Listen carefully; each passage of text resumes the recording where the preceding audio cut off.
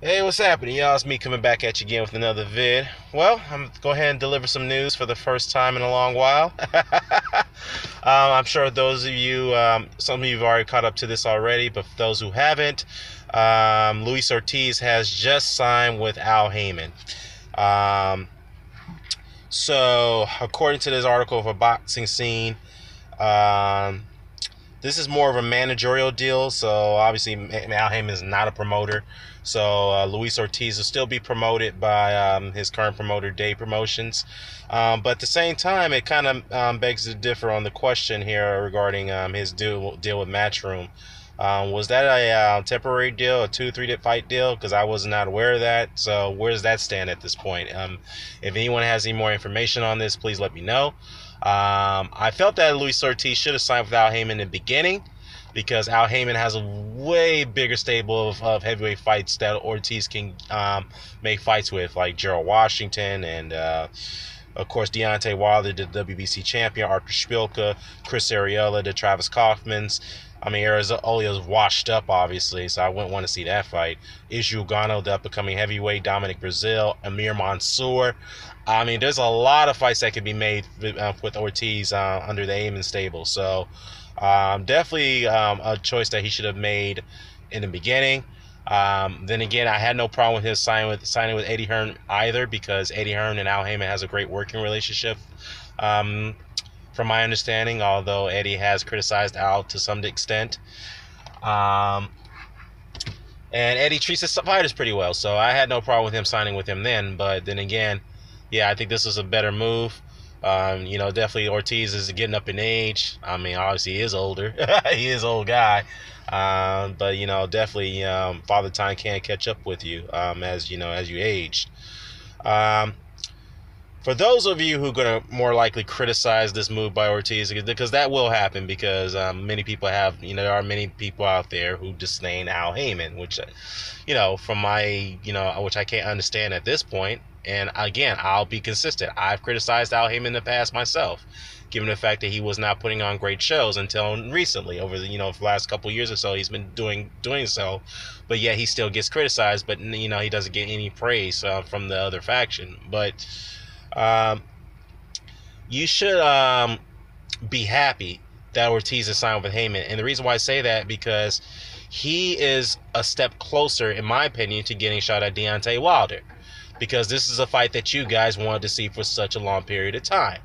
Now, I know Wilder and his team had came out about a month ago, who shot down the idea of fighting Luis Ortiz when um, Andrew Wawrzyk had to pull out of the fight due to a, a failed drug test. Um, because Wilder's team said that we're not going to fight a, a, a drug offender to that you know to that extent um, pretty much attacking Luis Ortiz. Yeah, Wilder does not get any. Um, they don't get any slack from me for, um, from that comment because first of all, that is a blatant duck right there at that uh, from them for doing that. Okay, uh, I just believe that. I just think that uh, Ortiz, you know, is a very dangerous heavyweight. We all know that, and Wilder needs to fight him. Bottom line, and the fact that Ortiz did get caught, yes, in the past for anabolic steroids after the the Lateef Kayode fight, I get that, but that was his only one-time offense. He's been clean ever since. That's what that fight was. What three years ago, four years ago, I believe. He hasn't been caught ever since, and he is re- registered to follow testing. So Luis Ortiz has been playing by the rules ever since that he got popped the first time. So Wilder and his team, they can't use that as an excuse not to fight him. Okay, point blank he has to fight Luis Ortiz. I'm telling you that right now. So, anyhow, I think this is pretty good news. Um, a, a, lot of um, on championship fights can be made now with Ortiz, with these other heavyweights that I've mentioned. Um, so yeah, um, you know Ortiz's last fight was against uh, Dave Allen over there in the UK. So uh, what do you think? Uh, what do you think about this move? And who do you think Luis Ortiz should fight? Um, do you think he should fight Gerald Washington, even though he's coming off the loss? Do you think he should fight uh, Dominic Breazeale? That'd be an interesting matchup. Do you think he should fight uh, Izu Ugonoh, the upcoming heavyweight? Uh, Artur Szpilka, or I mean, or even Charles Martin, even though he's saying he might come back. that could still be an interesting matchup, even though I'll favor Luis, Luis Ortiz to win most of those fights, uh, with the exception of. Um, well, obviously, um, well, I, I favor Ortiz to beat all these guys. Um, the only guy that I'm pretty unsure of is Deontay Wilder. So um, yeah, but let's not forget though, Ortiz is the mandatory challenger of the winner of uh, Klitschko versus uh, Joshua. So, um, so basically, uh, what is the, you know what does this mean? Uh, what does that mean um, from um, from another standpoint?